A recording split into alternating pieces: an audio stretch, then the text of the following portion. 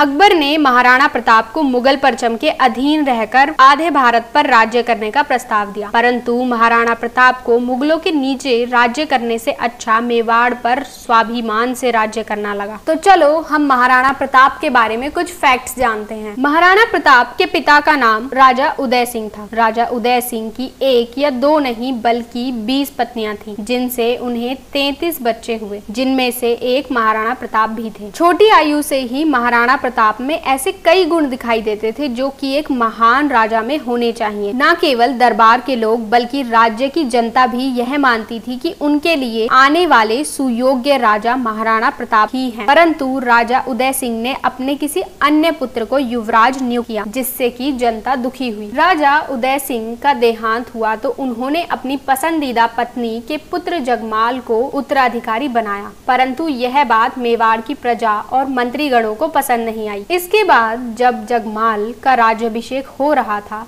तो मंत्रीगणों ने जगमाल को ताजपोशी के समारोह से हाथ पकड़कर बाहर लाए और अपने पसंदीदा और राजा बनने के सबसे ज़्यादा योग्य राजकुमार, यानी कि महाराणा प्रताप को राजा बनाया। राजकुमार जगमाल की भरी सभा में हुई बेजती का फ़ायदा उठाकर जगमाल को अपना मित्र बनाकर महाराणा प्रताप के खिलाफ इस्तेमाल करने की नियत से अकबर ने जगमाल को जहाजपुर की जागीर उपहार में दी। उस समय अकबर ने भारत के अधिकतर हिस्सों पर कब्जा कर रखा था। भारत के कई हिस्सों पर हमला करके कई राजाओं को अकबर ने अपने अधीन कर लिया था। बचे थे तो सिर्फ़ महाराणा प्रताप सिंह। मेवाड़, जिस पर महाराणा प्रताप का शासन था उसे अकबर हर हाल में कब्जाना चाहता था, क्योंकि मुगलों द्वारा किए व्यापार का रास्ता मेवाड़ से होकर गुजरता था।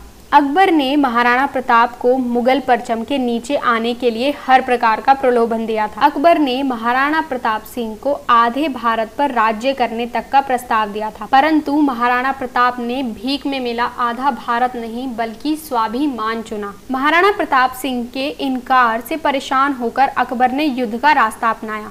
फिर हुआ महाराणा प्रताप सिंह और मुगलों का हल्दी घाटी का युद्ध। हल्दी घाटी में मुगलों का नेतृत्व कर रहे थे मान सिंह। मुगलों को सफलता तब मिली जब मेवाड़ की फौज का प्रमुख हाथी राम प्रसाद का महंत एक तीर से मारा गया। मेवाड़ के हाथी पर मुगलों का एक महंत बैठा और हाथी को मुगलों की तरफ़ ले गया।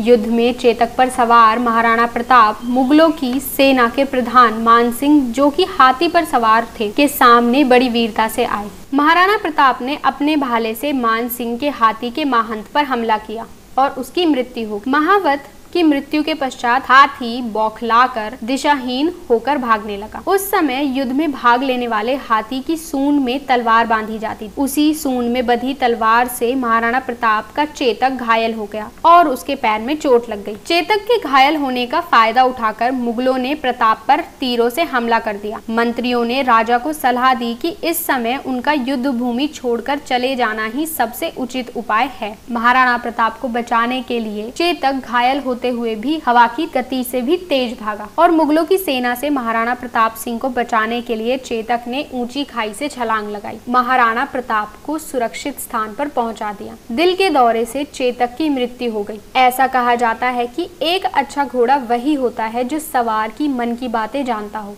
चेतक एक अच्छा वफादार घोड़ा था। हवा की गति से भागकर महाराणा प्रताप की जान बचाई। अगर आपको मेरी वीडियो अच्छी लगी हो तो प्लीज़ लाइक, शेयर और सब्सक्राइब करें।